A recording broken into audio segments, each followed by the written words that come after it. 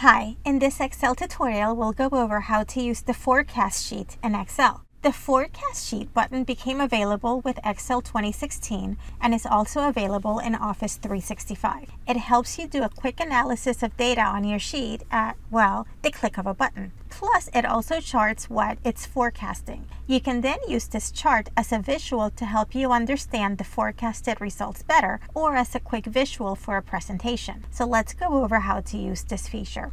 And by the way, if you enjoy this tutorial, don't forget to like the video and subscribe to the channel for even more tips.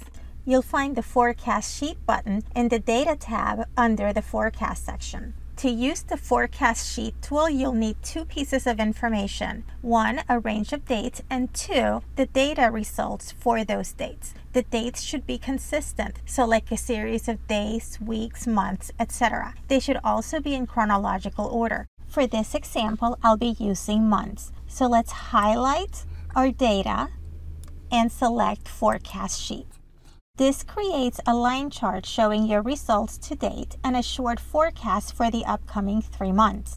You can extend this forecast by using the Forecast End option and selecting however many more months you'd like to forecast out for. You can click this button up here to switch to a column chart if you like. It's currently projecting future results for sales revenue. This is important to notice because the forecast sheet tool automatically defaults to forecasting the rightmost data, which in this example is revenue. It's displaying what it calculates to be the most likely forecast along with forecasts for upper confidence and lower confidence bound scenarios. Or in plain English, the likeliest, best case, and worst case scenarios based on the data we have click on options and here we can make some changes to the forecast. So let's say we instead want to forecast number of sales. To do so, come to the values range box and highlight your new data.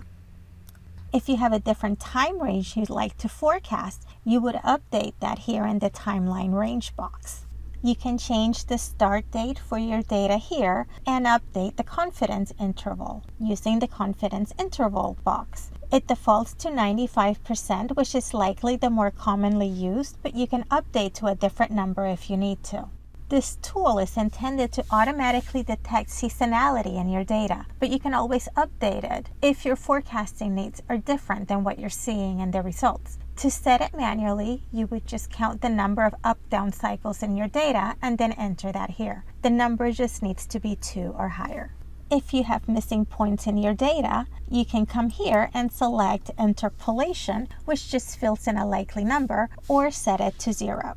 If you have multiple values for the same date, you can set here how to treat them. It defaults to averaging, but you can choose to do something different. When we click Create, this will create a spreadsheet to go along with our chart. You can select whether to include forecast statistics or not in that new sheet. I'm going to select it just so we can see what they are. Clicking Create gives us this new sheet with details of the projections along with our chart. Here to the right, you can see the forecast statistics we selected to show. You can then format this chart just like any other chart in Excel. And actually, let's move it from here